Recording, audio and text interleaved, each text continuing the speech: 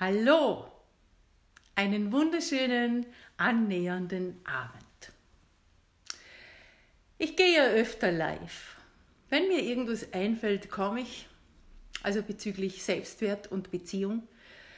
Aber heute, muss ich ganz ehrlich gestehen, bin ich nervös. Ich habe mir heute ein Thema ausgesucht, das ich letzte Woche mit einer Freundin besprochen habe oder eigentlich schon vor eineinhalb Wochen.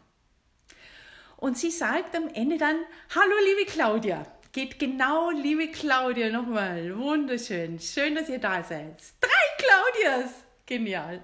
Liebe Karina, seid alle herzlichst gegrüßt.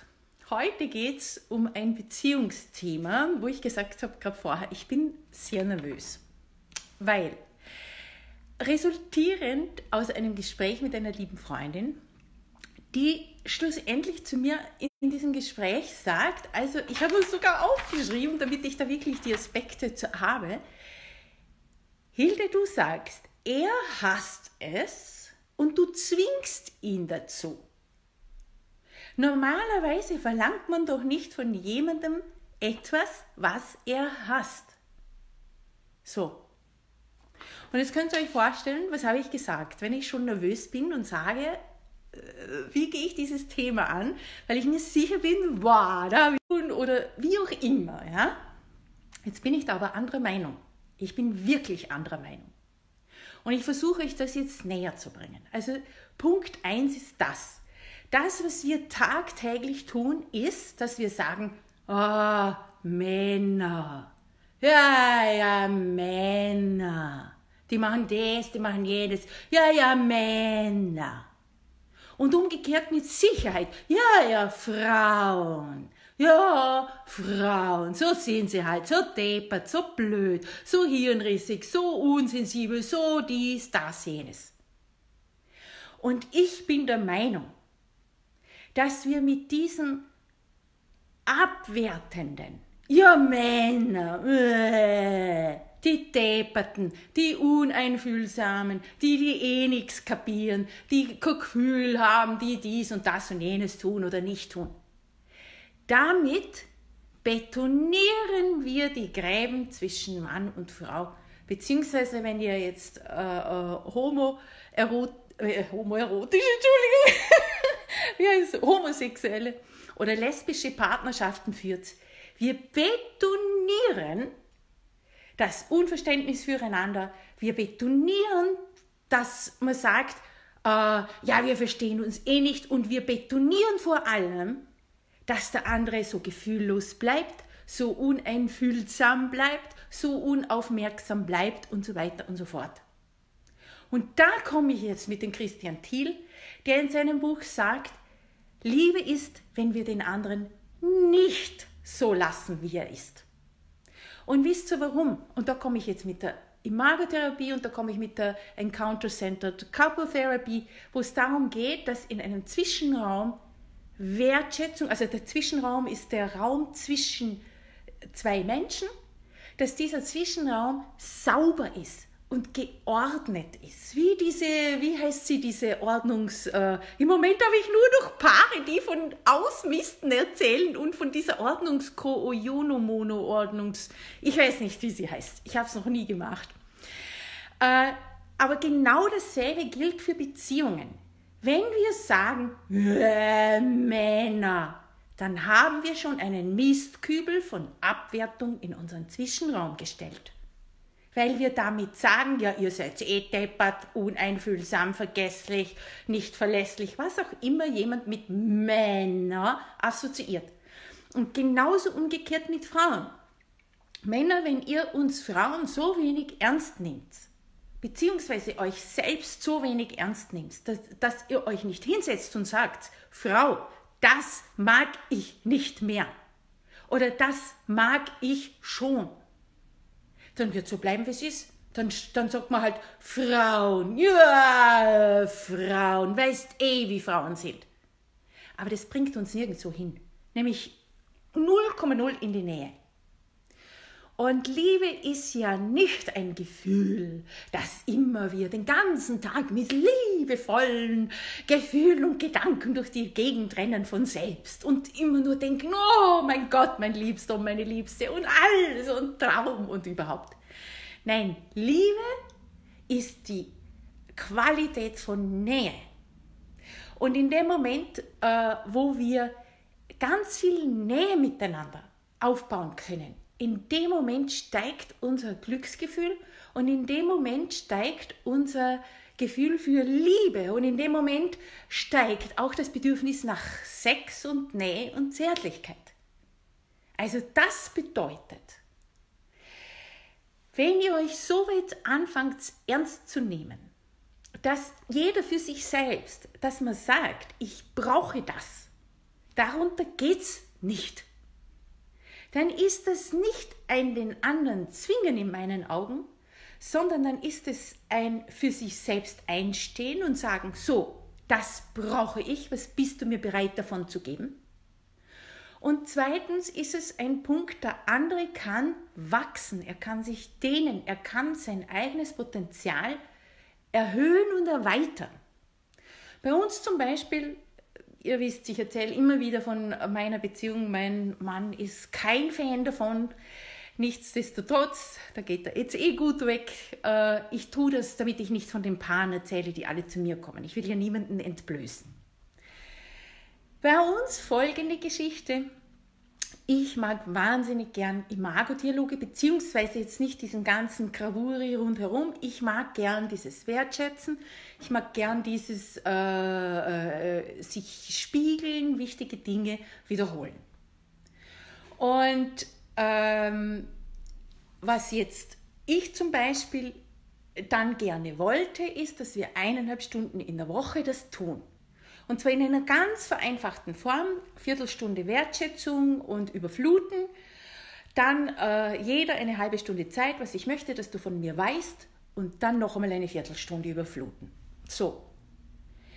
Dann sagt mein Mann wochenlang, jetzt müssen wir schon wieder das machen. Wow, ich hasse das. Ah, das ist ja schrecklich, das ist ja schrecklich. Und ich habe dann irgendwann gesagt und immer wieder mir auch gedacht, ja, das mag jetzt für dich äh, schrecklich sein. So, jetzt hat es mir angezeigt, meine Batterie geht aus. Ich hoffe, es passt trotzdem noch. Das mag jetzt für dich sich schrecklich anfühlen, aber für mich fühlt sich auch schrecklich an, wenn wir nie in die Tiefe gehen. Ich will Gespräche haben, wo wir in die Tiefe gehen, sonst ist mir langweilig. So, jetzt ging das wochenlang hin und her und hin und her.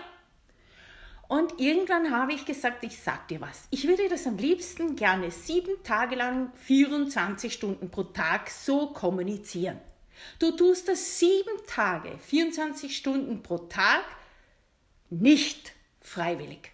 Dann möchte ich wenigstens eineinhalb Stunden pro sieben Tagen, 24 Stunden wenigstens eineinhalb Stunden pro Woche haben, wo wir so kommunizieren, wie ich das gerne hätte. Und ich hätte dich gerne dabei mit einem Lächeln und nicht immer wie mit einem kleinen Kind, das sagt, ich hasse das, ich mag das nicht. Und das hat meine Freundin als zwingen empfunden. So, dann habe ich meinen Mann offensichtlich gezwungen. Oder wie soll ich sagen? Ich habe einfach gesagt, das ist mein Bedürfnis. Es kann ja nicht sein, dass mein Bedürfnis einfach null erfüllt wird und seines zu 100 Prozent. Und das wahnsinnig Spannende ist, und das finde ich wirklich extrem spannend, jetzt haben wir es wirklich schon oft gemacht, machen es wirklich jedes Wochenende und äh, mit einem Lächeln.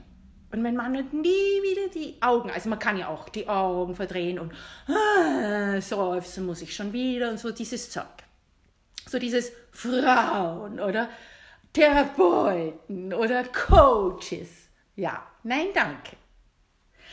Und das Spannende ist, umso mehr ich das jetzt einfach mit einem guten Gefühl von meinem Mann bekomme, umso äh, wie soll ich sagen, umso näher fühle ich mich schon automatisch und umso kürzer wird inzwischen diese eineinhalb Stunden.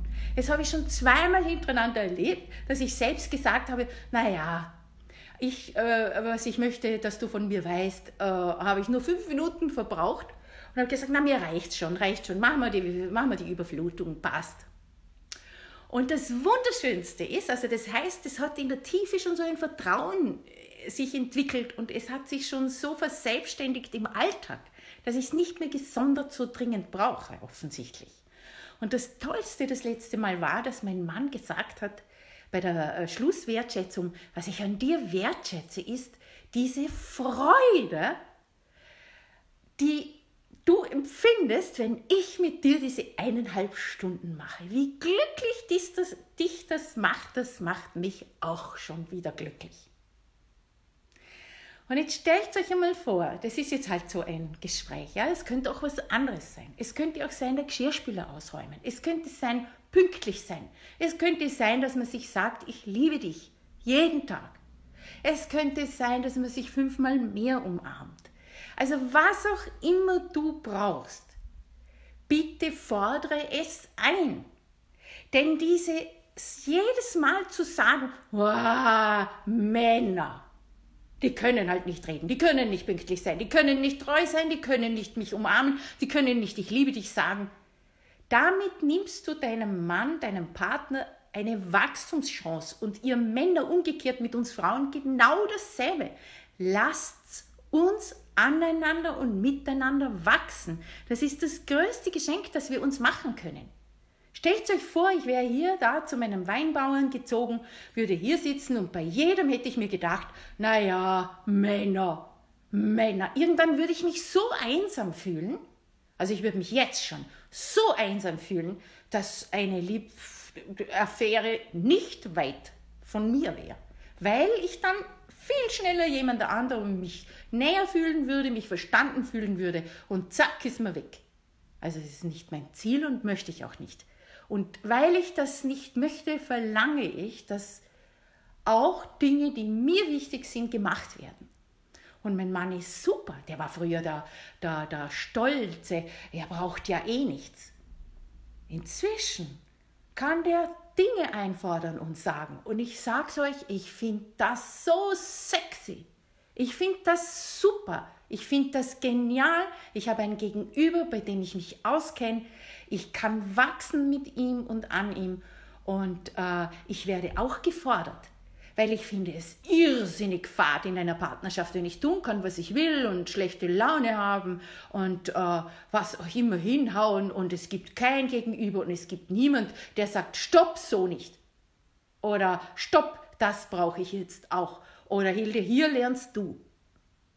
Nichts langweiliger als, naja, der ist halt so und die ist halt so. Dann landen wir so wie viele ältere Menschen, die nicht mehr mobil sind, die dann wirklich nur noch zu Hause sind, kaum mehr Freunde haben, die nämlich selber nicht mobil sind.